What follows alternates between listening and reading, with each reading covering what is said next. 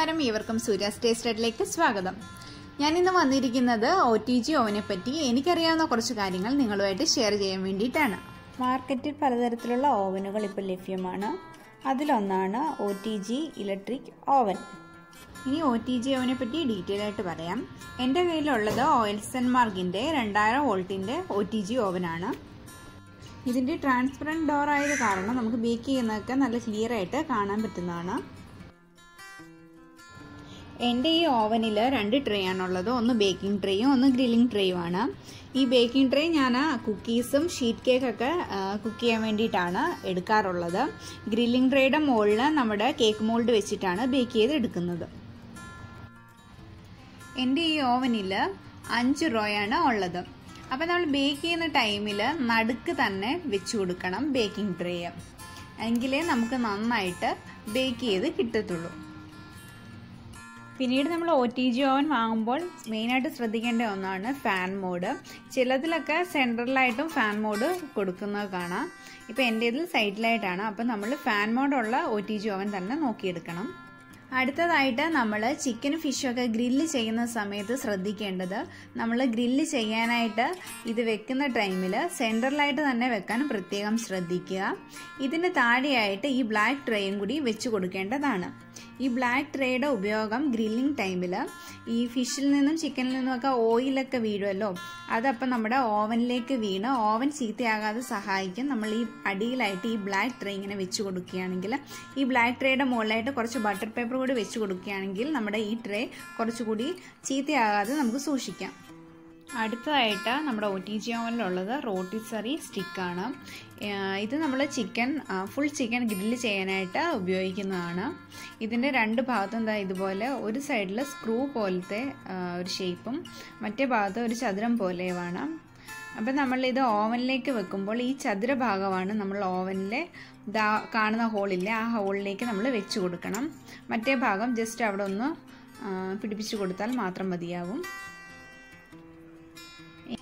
ഇതാണ് rotisserie handle നമ്മൾ chicken grill ചെയ്തതിന് ശേഷം നമുക്ക് അത് എടുത്തു മാറ്റാൻ വേണ്ടിയിട്ടാണ് നമ്മൾ ഈ റോട്ടിസറി ഹാൻഡിൽ ഉപയോഗിക്കുന്നത്.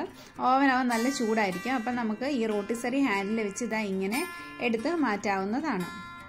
അപ്പം നമ്മുടെ കൈയൊന്നും പൊള്ളാതെ തന്നെ നമുക്ക് ഇത് വെളിയിലേക്ക് എടുത്തു മാറ്റാം. ഇത് നമ്മൾ ബേക്കിംഗ് മോൾഡൊക്കെ ഓവനിൽ നിന്നും പുറത്തേക്ക് എടുക്കാൻ വേണ്ടി സഹായിക്കുന്ന ബേക്കിംഗ് ഹാൻഡിലാണിത്. ഈ കാണുന്നതാണ് ഒ ടി ജി ഓവന്റെ കോയിൽ. മുകളിലും താഴെ ഇതേപോലത്തെ കോയിലുകളുണ്ട്. നമ്മൾ ബേക്ക് ചെയ്യുന്ന സമയത്ത് മുകളിലെയും താഴത്തെയും കോയിലുകൾ ഓൺ ആയിരിക്കണം. ഇനി ഇതൊക്കെ നമ്മൾ ഒ ടി ജി ഓവന്റെ സെറ്റിങ്സിൽ കാണിച്ചു തരാം. ഈ ഒ ടി ജി ഓവന്റെ ഡോറ് ട്രാൻസ്പെറന്റ് ഡോർ ആയതുകൊണ്ട് ബേക്ക് ചെയ്യുമ്പോഴും ഗ്രില്ല് ചെയ്യുമ്പോഴും നമുക്ക് ക്ലിയർ ആയിട്ട് കാണാൻ പറ്റുന്നതാണ്. ഈ കാണുന്നതാണ് ഒ ടി ജി ഓവന്റെ നോബ് എനിക്കിവിടെ നാല് നോബാണ് ഈ ഒ ടി ജി ഓവനിലുണ്ട് ചിലതിൽ മൂന്നെണ്ണവേ കാണുകയുള്ളൂ അപ്പോൾ ഇത് ഓരോന്നും എക്സ്പ്ലെയിൻ ചെയ്തു തരാം. ആദ്യം കാണുന്നത് ഫാൻ മോഡാണ് കേക്ക് ബന്ന് ബ്രെഡ് ഇതൊക്കെ ബേക്ക് ചെയ്യുന്ന സമയത്ത് നമ്മൾ ഈ ഫാൻ മോഡിൽ തന്നെ വേണം ഇടാൻ നമ്മുടെ ഓവനകം ഫുൾ ഫാൻ മോഡിൽ കിടക്കുന്ന ഓപ്ഷനാണത് അപ്പോൾ ആ ഫാൻ മോഡിൽ ഇടുക. ഇതിന് മുകളിലായിട്ട് കാണുന്നത് ഫിഷും ചിക്കനും ഒക്കെ ഗ്രില്ല് ചെയ്യുന്ന സമയത്ത് നമുക്ക് ആ ഭാഗത്തായിട്ട് മാത്രം മതി ഫാൻ മോഡെങ്കിൽ അതിലേക്ക് മാറ്റിയിടാവുന്നതാണ്.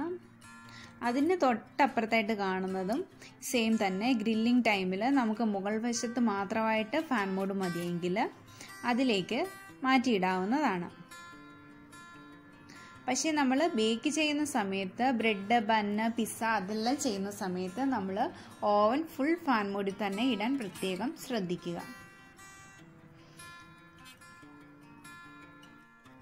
അടുത്ത നോബിൽ നമ്മൾ എത്ര ഡിഗ്രി സെൽഷ്യസിലാണ് നമ്മൾ ടെമ്പറേച്ചർ ഇടുന്നത് എന്നുള്ളതാണ് അത് കാണിക്കുന്നത്. ചിലതിൽ നൂറ്റി അൻപത് കഴിഞ്ഞ് ഇരുന്നൂറ് ഡിഗ്രി ആയിരിക്കും കാണിക്കുന്നത്. പക്ഷേ ഇതിൽ നൂറ്റി അൻപത് നൂറ്റി അറുപത് അങ്ങനെ കാണിക്കുന്നുണ്ട്. അപ്പം നമ്മൾ ഒരു കേക്ക് ബേക്ക് ചെയ്യുന്ന സമയത്ത് നൂറ്റി അറുപത് ഡിഗ്രി അല്ലെങ്കിൽ നൂറ്റി എൺപത് ഡിഗ്രിയിലൊക്കെ നമുക്ക് ഇട്ട് ബേക്ക് ചെയ്യാവുന്നതാണ്. പിസയാണെന്നുണ്ടെങ്കിൽ ഇരുന്നൂറ് ഡിഗ്രി സെൽഷ്യസിലാണ് നമ്മൾ ഇടേണ്ടത്. ചിക്കൻ ബീഫ് ഫിഷ് ഇതെല്ലാം ഇരുന്നൂറ്റി അൻപത് ഡിഗ്രി തന്നെ ഇട്ട് വേണം നമ്മൾ ഗ്രില്ല് ചെയ്തെടുക്കാനായിട്ട്.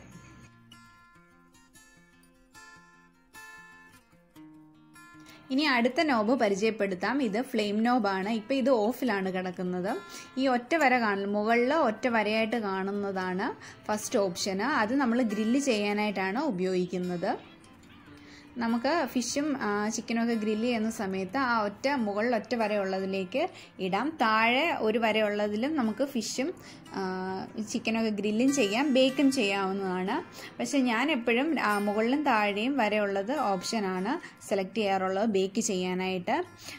താഴെ മാത്രം ഉള്ളതിൽ നമുക്ക് ചിക്കനും ഫിഷും ഒക്കെ ഗ്രില്ല് ചെയ്യുന്നതിനായിട്ട് ഉപയോഗിക്കാവുന്നതാണ്.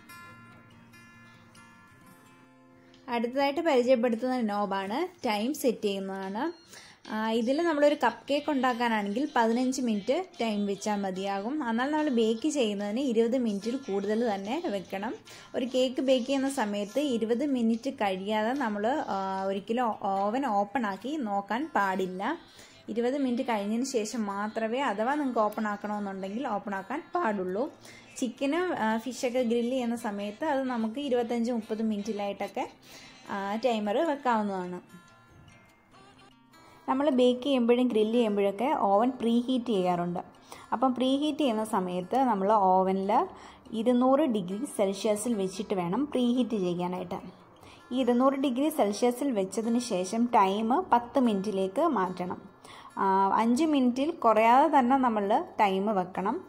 അഞ്ച് മിനിറ്റ് ആയാലും കുഴപ്പമില്ല. അഞ്ച് മിനിറ്റിൽ കുറയാൻ പാടില്ല. പത്ത് മിനിറ്റോ പതിനഞ്ച് മിനിറ്റോ ടൈം വെച്ചിട്ട് നമുക്ക് ഇരുന്നൂറ് ഡിഗ്രി സെൽഷ്യസിൽ വെച്ച് പ്രീ ഹീറ്റ് ചെയ്യാവുന്നതാണ്.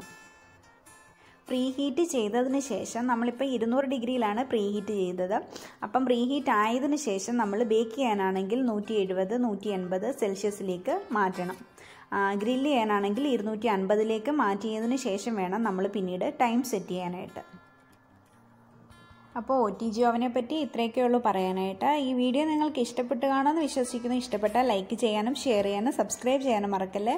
അപ്പം നാളെ നമുക്ക് മറ്റൊരു വീഡിയോയുമായി കാണാം. അതുവരെ this Surya Ranjith from Surya tasted thank